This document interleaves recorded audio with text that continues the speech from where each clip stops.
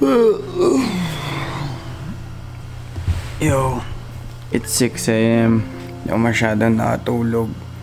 Dami ko iniisip. Hirap din.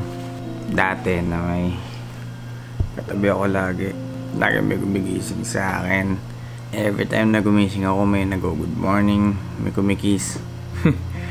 Nakakamiss din. Oh yeah, today, nag-decide akong dalawin yung mga lugar na lagi namin pinupuntahan mag-asawa. And yung mga favorite places namin sa Manila. So, yeah. Tadaling ko kayo doon. Sasama ko kayo. So, samahan niyo ako.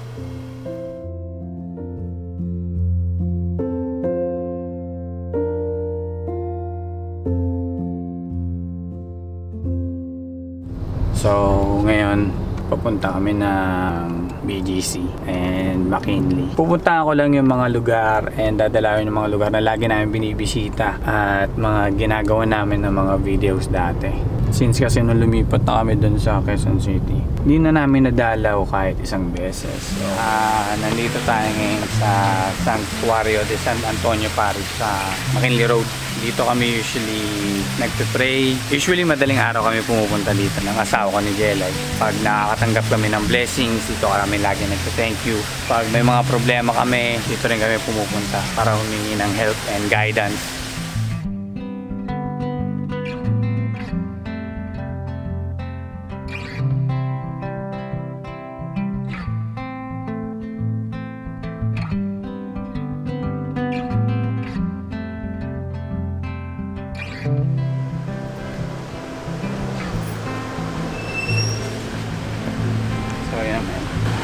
Nag-pray ko lang yung mga mahal ko sa buhay.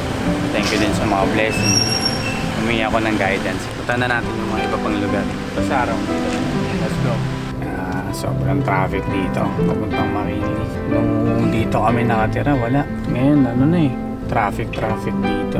Establish niya kasi siya eh. Ngayon nga, McDonald's eh. Wala naman yan dati. Pero malapit na tayo dun sa Maya Canyon. Pag nakita mo na yan, alam mo nung malapit ka na sa kabiasnan ng Marinli.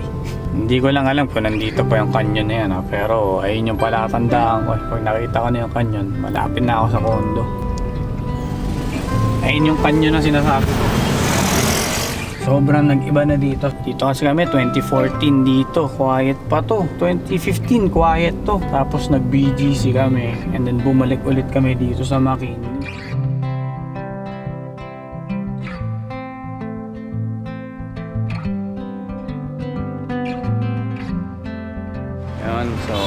Dito na tayo sa McKinley. Papakita ko sa inyo kung saan kami unang nagpicture. Tara, dito, sa part na to. Diyan yung isang part nung sumayaw sa siya sa hayaan mo sila namin. And dito, yung unang picture namin. Dito, dyan sa street na to, yung unang picture namin. Na wala ako sa camera pero nakahawak ako sa kamay niya sa katalikod pa siya. Sinusurprise pa namin yung tao na may girlfriend na ako. Saka nasa Pilipinas na ako. nun.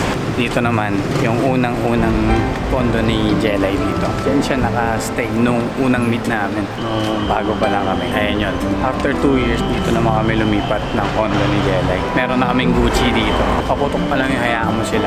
But yeah, dito yan. Marami rin kami ginawang video dito na nag-trend. Katulad nung kumakanta siya. Basta kumakanta siya nun, may nakita kaming video ng dalawa. Tapos ginaya namin, gumawa kami ng paradise.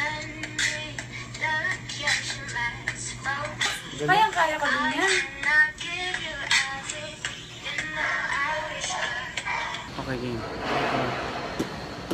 Send me your location and hold me in your arms again, in my arms, oh yeah. Kaboses Yang, kaboses ka. Kaboses mo pala yung babae doon, men. Tingnan mo naman yung paligid, di ba? Para kang nasa ibang bansa. So, sobrang ganda dito. Kaya, kung gusto namin dito dati, walang traffic, wala masyadong tao, marami kang magagawa. Nakakapaglakad ka nga dito ng safe ka ng gabi. Tara, punta tayo dun sa favorite namin kinakainan na linggo-linggo, walang palyan na doon kami kumakain. Sa isang linggo siguro, isa at dalawang beses kami kumakain dito. Alam ko, one time, nakakain kami dito, ano eh, five days in a row, kumain kami dito sa, pa, ano, na to. Ito talaga pinaka-favorite namin. Kahit siya yung tanongin mo, ito yung sasabihin yung pinaka-favorite niya na kainan. Ah, alam niyo naman yung kung kumain. Grabe kumain yan. Sobrang daming kumain nun pero yung katawan niya, ganun pa rin yung hubog. Di rin nag-gym yun, men. Swerte talaga, swerte. Sobrang lakas kumain. Di nag-gym pero sexy. Sexy pa rin, sexy pa rin.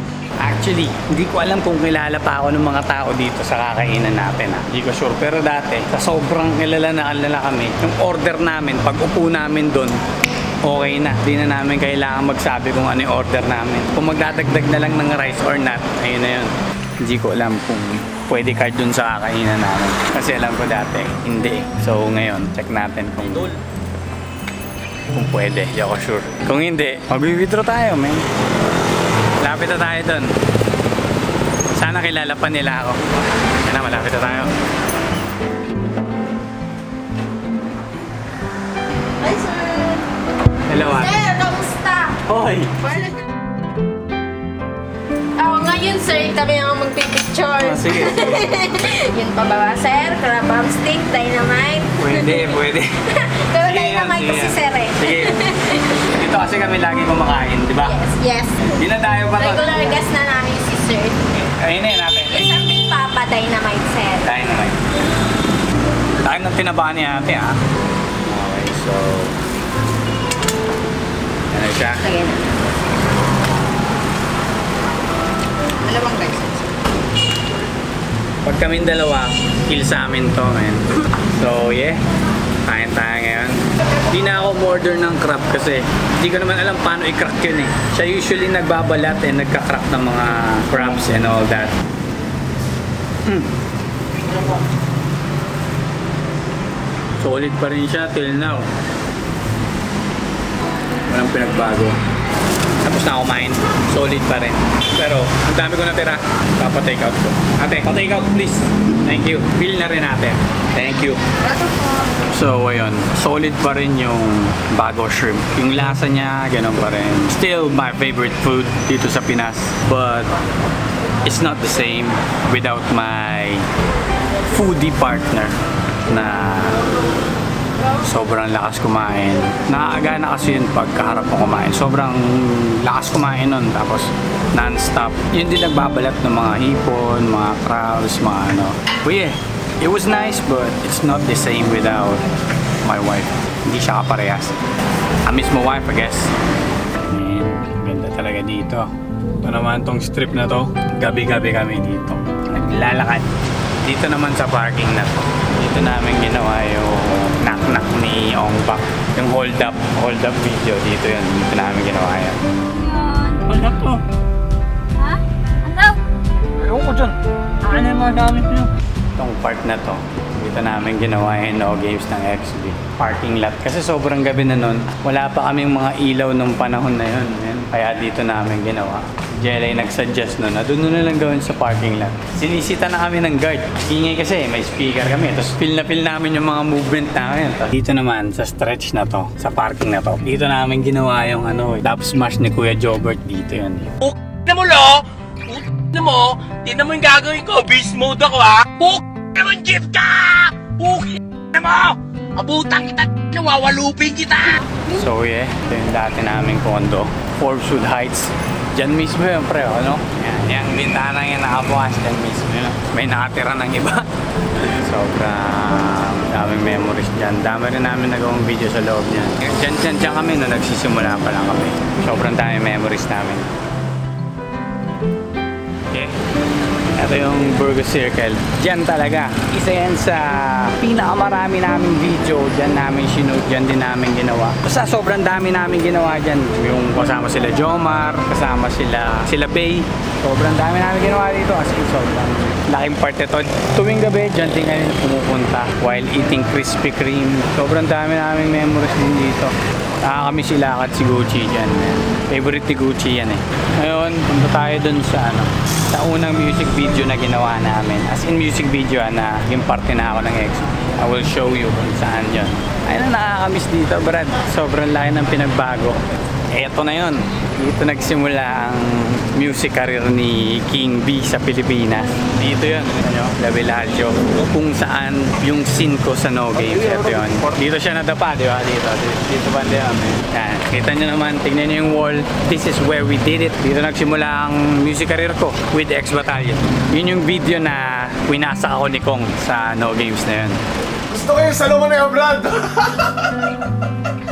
sobrang sabog ng mga panahon na yun. Kaya nga nagawa ni Kong ng ano yun eh, ng content kasi sobrang lakas ng kanta yun. Everywhere you can hear it. Sa jeep, sa bus, kahit saan. Yung manig yun, bago pa maghayaan mo sila, may no games, man.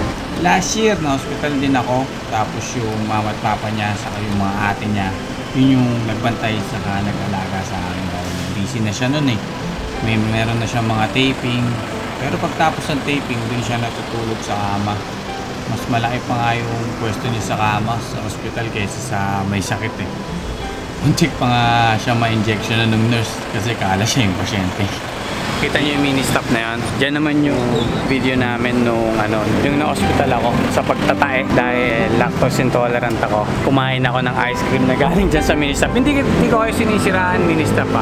Real talk lang na nung kumain ako nun, di, di pa ako namimigay, sobrang damot ko sa video. But nung kinagabihan nun, inimatay ako kasi inimatay ako, siguro naka-anim na ano ako, na EAT. Tapos si Jelay din nagdala sa akin sa hospital. Siya rin nag-alaga sa akin. Nakakamiss din na may nag-aalaga pag na-hospital kasi hospital ako few weeks ago lang. Ano, may nararamdaman ako sa ano eh, sa dibdib ko. So, ako lang mag-isa. Nakakatakot, nakakatakot na ikaw lang mag-isa doon. Since pamilya ko, wala rin dito. Paka-pamilya ko lang dito, Hong B, saka yung mga tita ko, pero may sarili-sarili silang buhay. So, syempre, trabaho. Ako na mag-isa doon, men. So, Hong Biding, may trabaho na si Hong Bak. BGC, naging malaking parte to ng relationship and careers namin. Dito nagsimula talaga. As in, ito yung go-to place namin para sa music video, para sa videos, para sa skits. BGC was the place para doon sa mga bagay na yun. Nakakamiss din maglakad dito na kasama ko yung kasawa ko.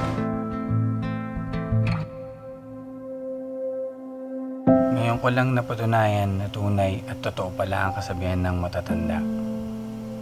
Na makikita mo lang ang halaga ng isang bagay kapag wala na to sa'yo. Importante. Mahalaga. Parang partner ko. Wala na sa tabi ko. Yung pakiramdam na parang nawalan ka ng armas. Nawalan ng panangga sa gitna ng isang napakatinding digmaan. Isang pakiramdam na dati ay lagi lamang nasa tabi mo, kailangan man o hindi, ay laging nandyan.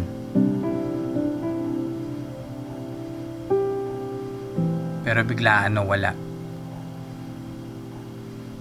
Namimiss ko.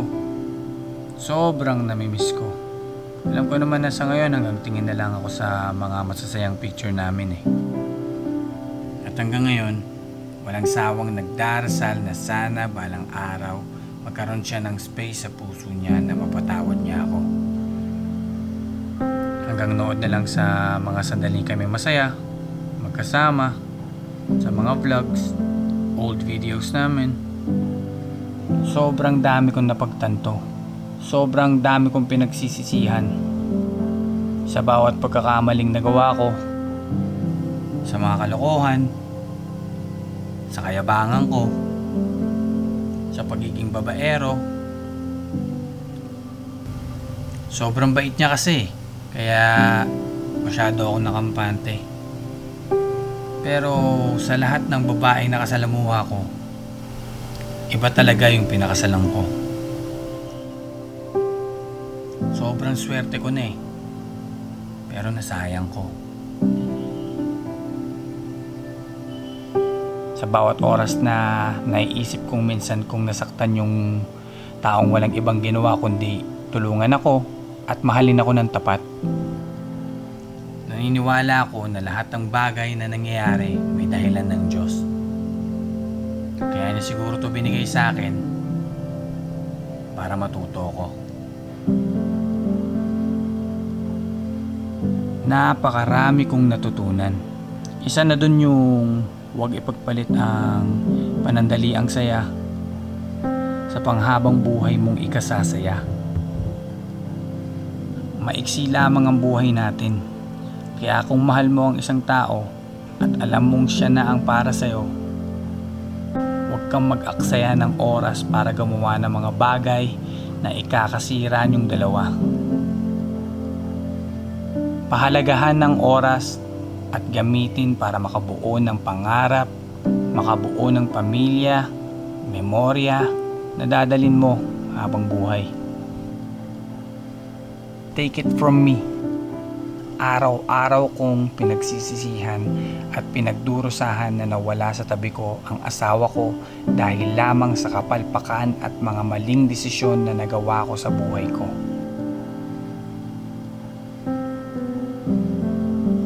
Hope may mga natutunan kayo sa akin sa vlog na to.